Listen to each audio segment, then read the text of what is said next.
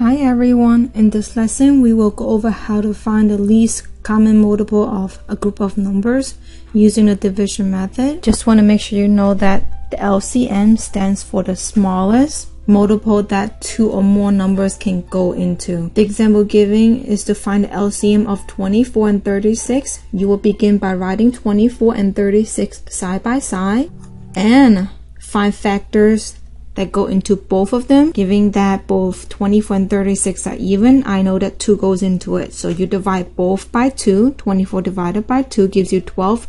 You write it underneath, and 36 divided by 2 gives you 18. You continue. 12 and 18 are even, so I know 2 goes in again, leaving you 6 and 9. 3 goes into 6 and 9, leaving you 2 and 3.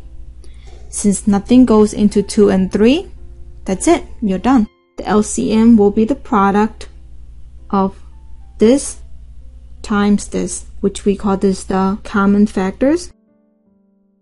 And this is the uncommon factor.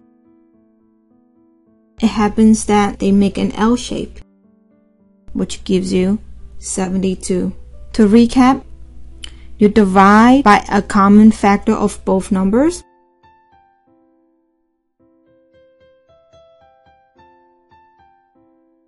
and then you'll multiply the side numbers together, which are the common factors and uncommon factors.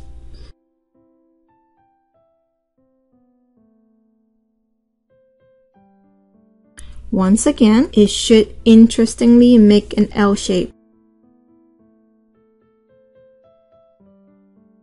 I want to reiterate that it doesn't matter how you begin. So if I redo this question again and I did not start with 2 as my first common factor, I would end up getting the same answer. So I know that 4 goes into 24 and 36, which gives me 6 and 9. And 3 goes into 6 and 9, leaving me 2 and 3.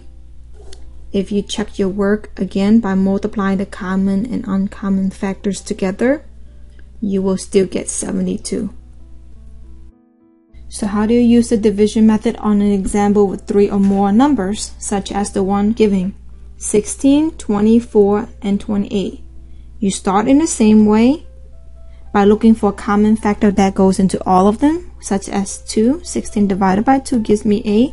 24 divided by 2 gives me 12. 28 divided by 2 gives me 14. And 2 goes into all of them again, which leaves me 4 for the 8, 6 for the 12, and 7 for the 14. Notice how there's nothing that goes into all of them. However, something goes into 4 and 6. So now you work with two numbers only. Now you will look for a number that goes into both 4 and 6, which will be 2. That leaves you 2 and 3. Since you did not do anything to 7, you just drag it down. And now nothing goes into any groups of the number.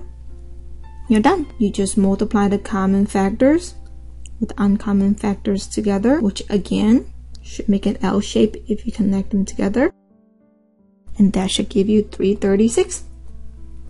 Okay, to recap, you divide by a factor that goes into all of them.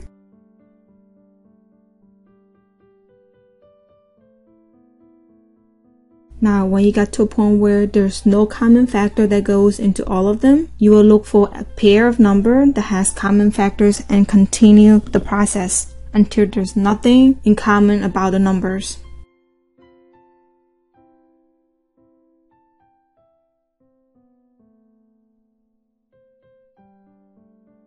Just like the previous example, it does not matter how you begin, it will still end up being the same answer. So if I redo the same question again, using another beginning factor, which is 4, that leaves 16 with 4, 24 with 6, and 28 with 7, you'll have the same thing, giving that 4 and 6 are the only pair. I will pull out a 2, and leaving 2 and 3, and 7 was not used. So you pull it down and you end up having the same answer. What if two numbers are relatively prime? How does that help us to find the LCM? First of all, two or more numbers are relatively prime if they don't share any common factor besides one, such as 17 and 18, or 15 and 4, or 20, and 21. So let's say that I want to find LCM of 20 and 21.